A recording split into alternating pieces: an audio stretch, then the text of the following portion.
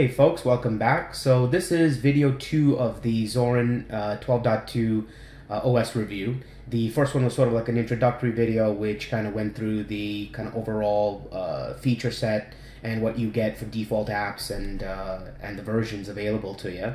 So in this video, we're actually going to go through the install of the OS. It's not very long to do. It's pretty straightforward.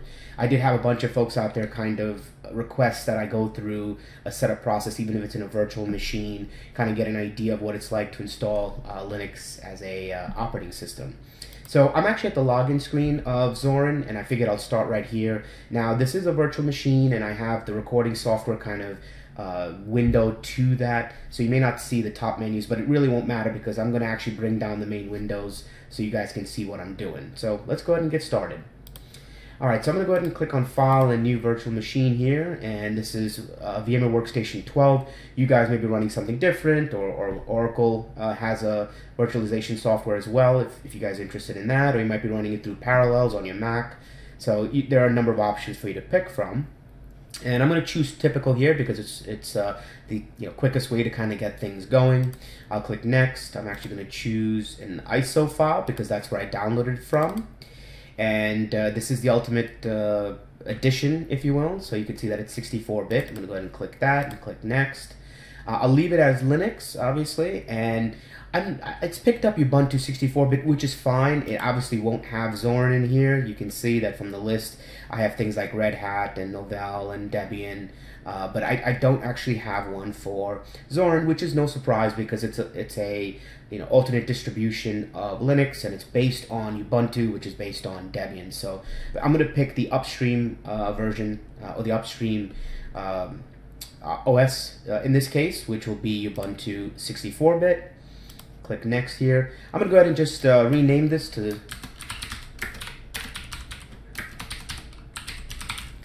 Okay, and let's go ahead and choose a folder location. Let's go ahead and just say that, and we'll choose this.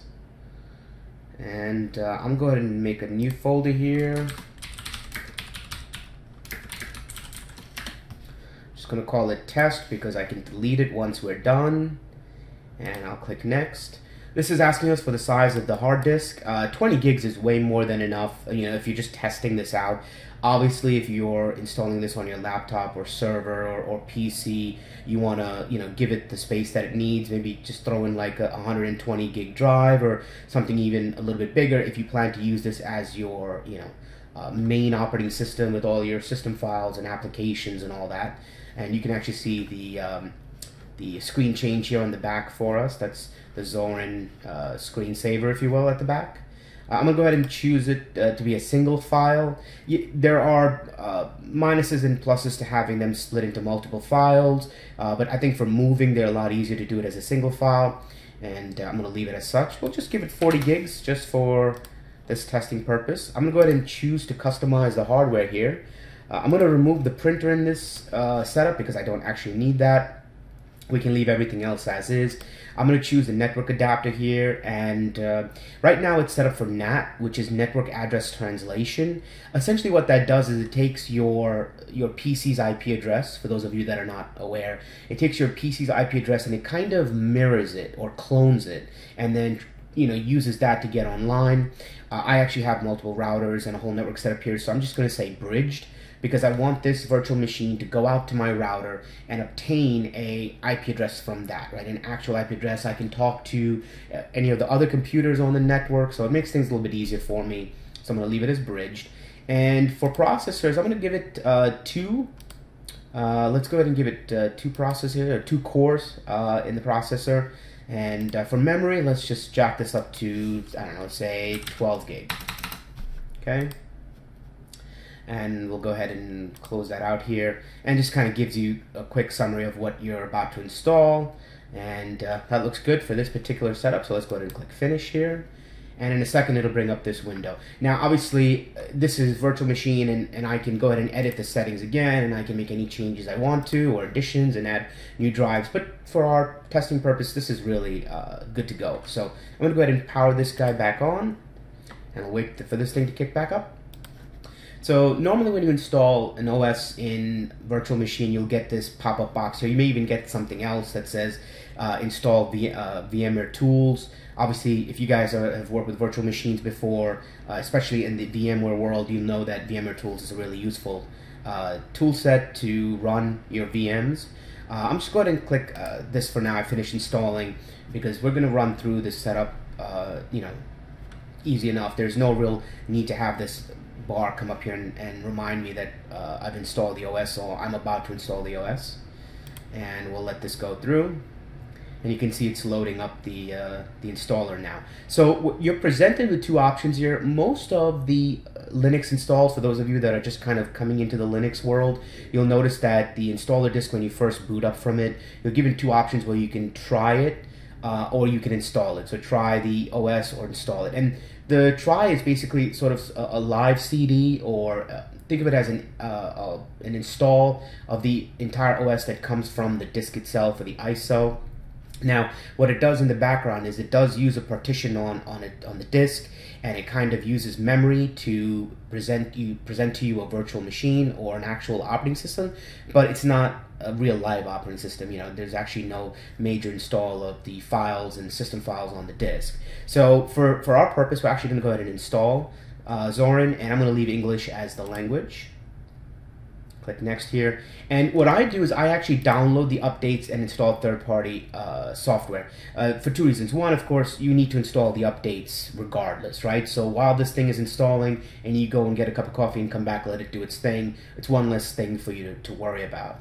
Second thing is, I want to install the third party software because I've actually downloaded and paid for the Ultimate Edition of this OS. And so, in order to test this whole thing out, I really want to see what it's like and what it comes with um, on the initial install. So, I'll click continue here and uh, it brings us up to the the disk partitioning uh, section of the of the install wizard, and it's asking you you know just to erase the disk and install Zorin. Nine out of ten times you'll choose just this default option here and click install now. You know you do have the option to encrypt the Zorin installation, uh, meaning your your folders, your security your home folders, your user folders, they'll be encrypted and uh, makes it harder for folks to kind of get into. Depending on your install, your environment, that's completely up to you if you want to do that.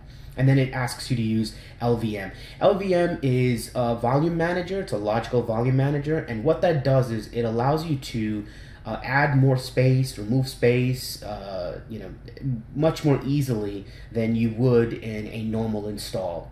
And uh, for our purpose, we really don't need that. You know, this is just a testing ground here. You know, most folks that run Red Hat or uh, Linux in a corporate environment will most likely use the LVM.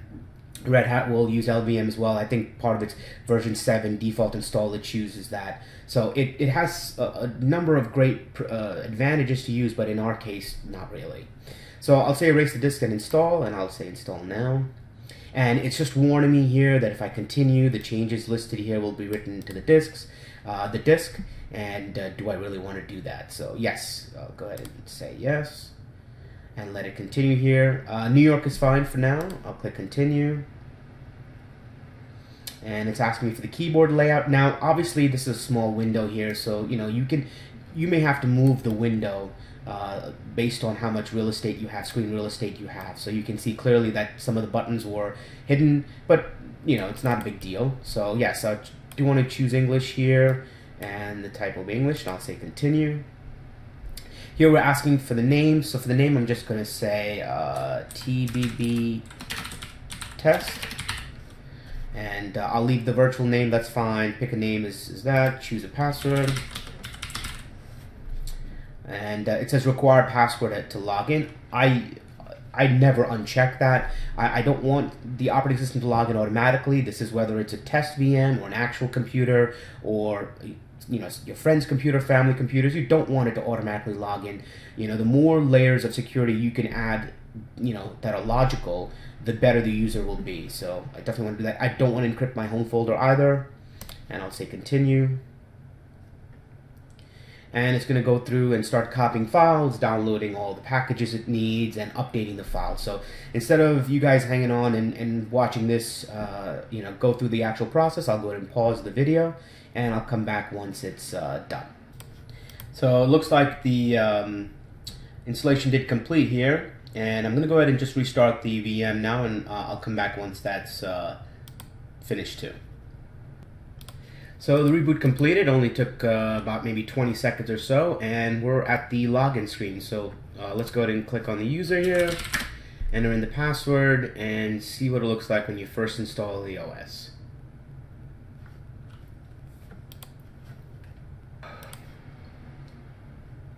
So here's the desktop here. Obviously, we're not presented with the widescreen here because the VMware tools is not installed. We'll do that. That's one of the first things we'll actually do just so we can have some more real estate and uh, obviously have some more features with VMware such as drag and drop files and into the uh, OS. So, but this is what you get. No top bar here, a single bar at the bottom here. Looks like you have your status with your network and volume and your power options all into one and then you've got your date and uh, looks like you'll have your notification center here as well. So pretty uh, clean kind of neat layout for the OS you've got your menu system here uh, set up and uh, we'll take a look at the version of the kernel. We'll take a look at the desktop environment and the apps uh, in the next couple of videos just so you guys can kind of take a look at those and, and see if you're interested in um, those features.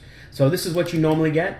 And what I'm going to do is I'm going to go ahead and uh, install the VMware tools next because obviously that's that's really the first thing you want to do along with updating your system.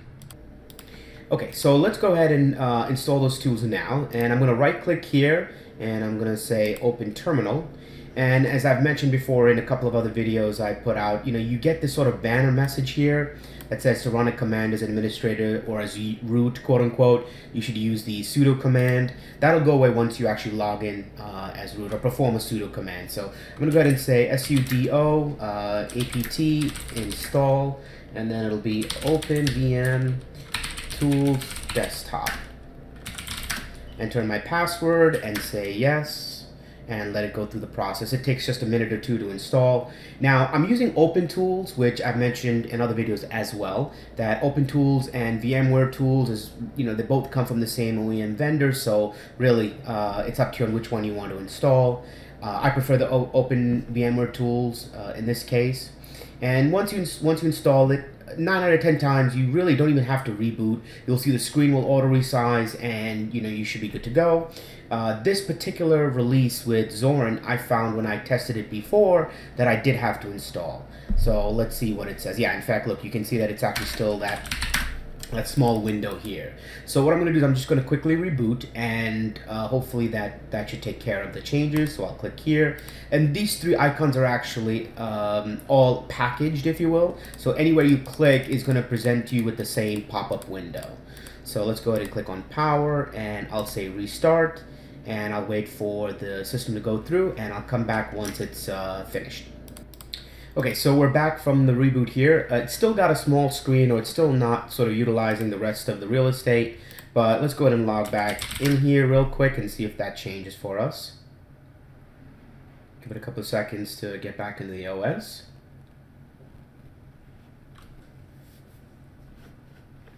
And there you go. Okay, so it looks like it did resize, and uh, we've got a bunch more real estate now to play with uh, in a 1080p window and it does give you a sort of nice scenic uh, or kind of uh, beautiful background here of a lake and uh, you're good to go. So that's pretty much the install uh, of the OS. You know, pretty straightforward and simple, not too uh, problematic as some of the other system installs can be. There are some distributions of Linux out there. Let me rephrase, not necessarily problematic, but a little bit more involved. You gotta, you know, compile some packages and do a little bit more manual approach to get it installed. But since this is based on Ubuntu, which is based on Debian, uh, you know, a couple of clicks of a wizard gets you into the desktop of the uh, OS. So hope hopefully you guys enjoyed that video. I'm going to go ahead and end it here. And in the next video, we're going to take a look at the operating system, which includes the kernel and desktop environment and the default apps, and then obviously my general thoughts on the OS, uh, especially since this is now uh, something that you have to pay something like 22 bucks for if you're interested in getting the ultimate edition. So thanks again for watching, and I'll catch you guys in the next one.